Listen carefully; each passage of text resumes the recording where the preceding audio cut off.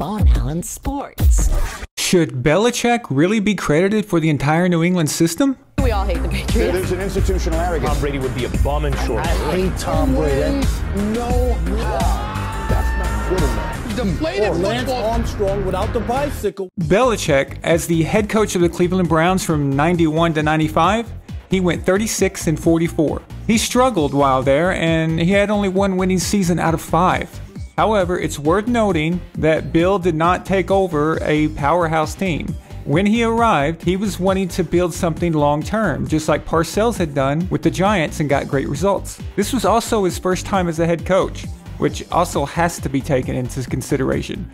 And I'll explore more about this in detail in the Belichick Legacy video that is planned for this upcoming preseason. Art Modell, the owner of the Browns at the time, was moving the team to Baltimore. But instead of taking Belichick, the man who had assembled that team and staff together, was fired after finishing 5 and 11 his last year. But that last year is kind of pointless because the team knew they were moving, so they didn't really care, and the fans were angry. It was just a bad year. No one was coaching that team to the playoffs. But anyway, after this, Bill took a job offer from his old pal Bill Parcells. And after stints with the Patriots and the New York Jets in the defensive coordinator assistant head coach positions, he landed a new gig with the Patriots as head coach. His second chance. Now, a lot of expectations came from the owner, Robert Kraft, because he had just fired a pretty decent head coach in Pete Carroll. Not only that, the Patriots gave up a first round draft pick to the Jets for the rights to sign him. So a lot was on the line here. But this time, Belichick's situation was much improved. An owner who was excited, and he himself had grown as an owner, uh, an organization Bill had familiarity with. But most importantly, he had a quarterback. And this was the best quarterback he had had in his coaching career Drew Bledsoe. If this was going to work on his second chance job, it had to be this one, right? Well, the team struggled. They finished 5 and 11 in 2000, his first year there. Over the offseason in the summer of 2001, calls for his firing already were heating up. Kraft was concerned, you know, worried that he invested too much money and, and too much of everything into Belichick, and he just got another Parcells era guy that failed him. I, I want to say this very clearly. They hate their coach. 2001 starts up. If things were going to work, it had to happen now. Well, they lost their first game and then went into week two. Now, this is the game where Drew Bledsoe was knocked out of the game by Mo Lewis, and then Brady comes in. Well, the Patriots lose that game as well. So, so far, Belichick's record with the Patriots was an abysmal 5 and 13. However, luckily for Belichick, Kraft, and the fans of New England, a gentleman whose name is now lost to history, Dick Rehbein, God rest his soul, had lobbied Belichick to draft Tom Brady the previous year. Unfortunately, Rabine passed away right before Brady's first start, but man, what a first start it was. Not only did Belichick finally get his first victory of the year, it was against Peyton Manning. Things were definitely looking better. Up until this point, there was nothing that said anything was going to change. And, and it's not because Belichick isn't a good coach. I mean, he's a great coach. He, he's the GOAT. But he wasn't back then.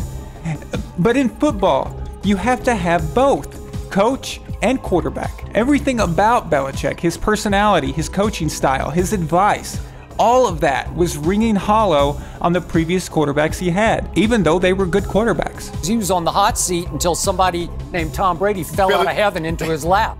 But Brady, he was an open book. He was able and willing to take anything Belichick wanted and execute it to the finest details. Belichick could have had Dan Marino, and, and there's no reason to think it would have been any different than it went with the others because of the type of people they are. It's not a shot at them either, okay? It's just certain people match each other. To truly understand both Brady and Belichick and their values separately, you have to go back to the beginning. When they had no achievements, of course. When it was raw and no advantages were there. Now, if you separate them, how much of what Brady learned in New England would he take with him to another team? His experience, his work ethic, his intelligence, He would be a massive asset to any team. And if Belichick was suddenly alone without Brady, how much of that would work on a new quarterback? Well, a lot of it would, for a time, because Bill now has the clout, the name, the respect to be obeyed. People will trust him. But remember, those things were earned with Brady. So you can't extract the one point from the other. It doesn't work like that. You always have to remember how they became what they are and how that works now.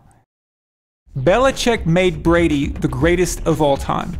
Brady made Belichick the greatest of all time. Belichick's coaching is only for a select few. Everyone else can't handle it. Tom Brady's expectations for his teammates are also for a select few. Many can't take it, many can, but many great players have failed. Send Brady to any team in the league right now. He will improve that team without throwing a pass. His presence there alone would invigorate the entire organization. They will suddenly believe they can win and beat anybody before they even step on the field. Same goes for Belichick. So, who is the system in New England?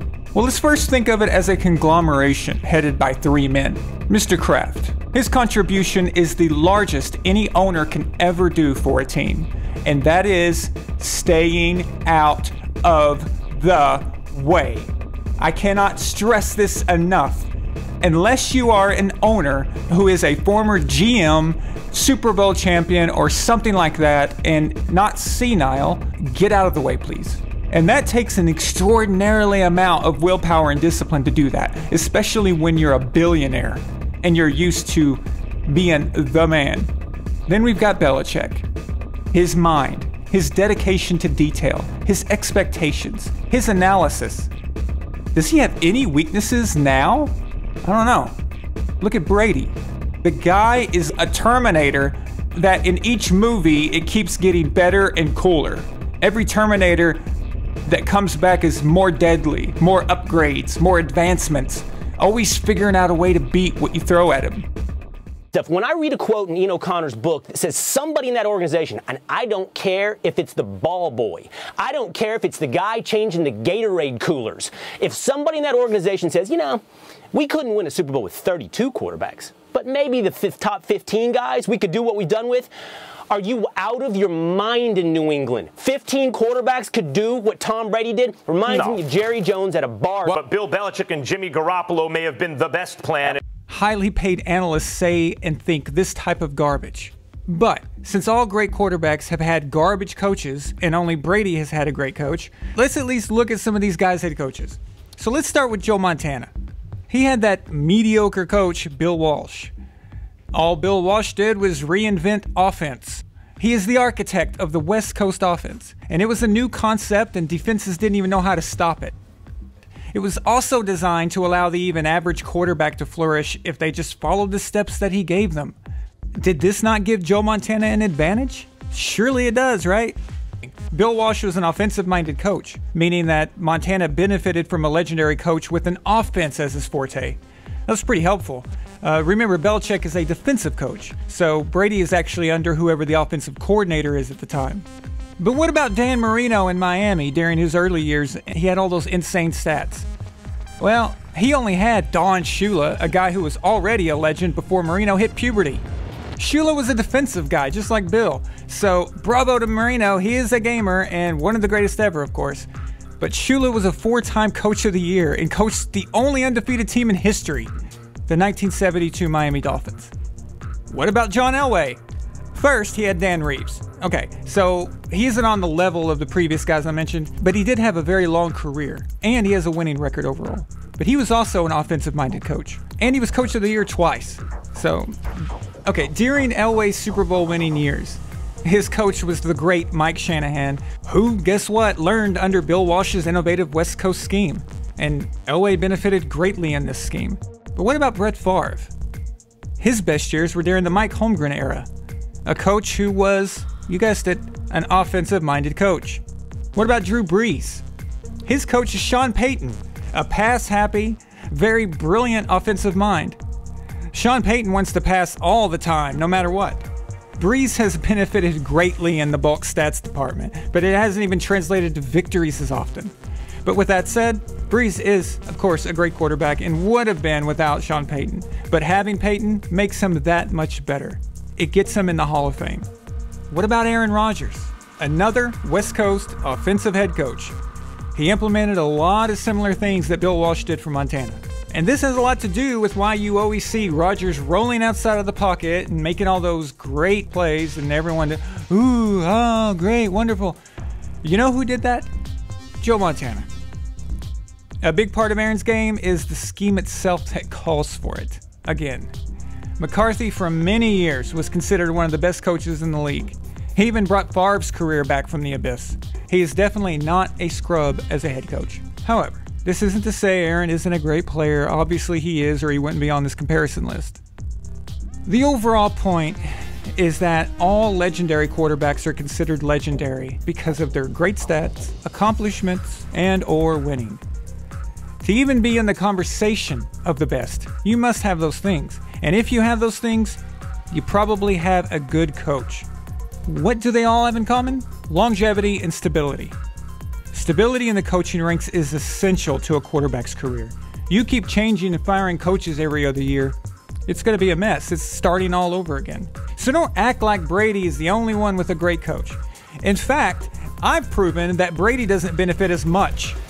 In the case of his personal stats, uh, he has those stats in spite of a head coach who isn't even offense happy. Yeah, true, he has had stability, but all great quarterbacks do. However, my point to you is Tom Brady is the system. He's had three different offensive coordinators who had three different tastes in how they use Erhardt-Perkins offense. Everything those offensive coordinators wanted to do, Tom adjusted to. Want to run the ball and play conservative? Tom did it. Want to sling the ball downfield? Tom did it. Want to use slot receivers a lot? Want to utilize tight ends as the main focus? We can do this all day. Name any type of offense, and Tom has probably ran it, except for anything that's based on a quarterback running obviously. Although, congrats on finally reaching 1,000 yards rushing. Nice job. Charlie Weis, Josh, Josh McDaniels, yes. Bill O'Brien. Yes. Okay. They were all products to me of Tom Brady. The system in New England also consists of the next tier Josh McDaniels, Matt Patricia, before that, Charlie Weis, Romeo Crennel. Their dedication and contributions are insane as well. They are there side by side with them all those hours every day. They don't take breaks, they don't take days off either, so they're there for this. Now, I can't name everyone, but I've never seen an organization where everybody pulls their own weight like this. It, the efficiency is insane. It's crazy. Usually, when people ask me for advice, I, I always have something I've learned from watching the Patriots organization, watching Bill or Tom or something that they've said. And I use that as advice, and it works because it's good advice. The New England Patriots dynasty was a perfect storm. Separately, both of them would have found some type of success. I think Brady probably would have done better, only because if the 49ers had drafted him, he would have submitted to Bill Walsh and Steve Mariucci's coaching. He most likely would have got the 49ers another Lombardi, probably two.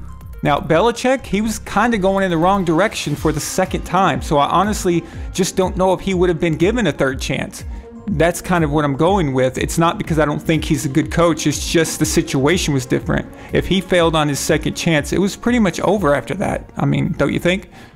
But but none of that happened. They did come together and they created an empire.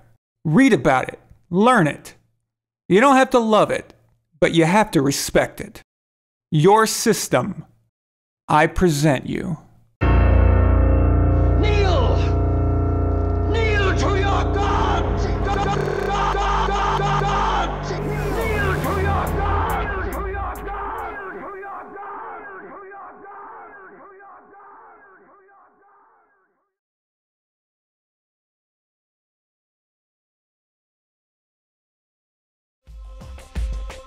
If you would like to support the channel in more ways, you can visit our Patreon in the description of this video. You can also purchase merchandise from us, which if you send a picture of yourself with it, I will put it in the next video. You can also support by purchasing music, which all links for these is in the description. You guys are awesome, and you have no idea how appreciative I am that you always comment and interact with me. I am really enjoying this work, all because of you guys. Thank you so much.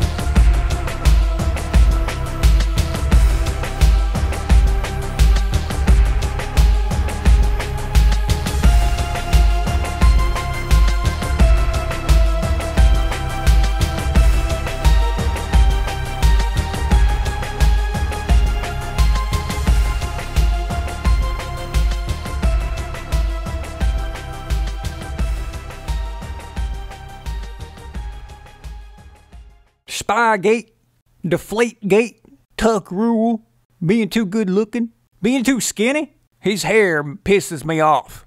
His face pisses me off. Are you finished? Because I got a response to all of this. Excuse me, you can't go and find somebody else other than a Jimmy Garoppolo But the- it's the- to preserve Tom Brady? You can't do that? Von Allen Sports.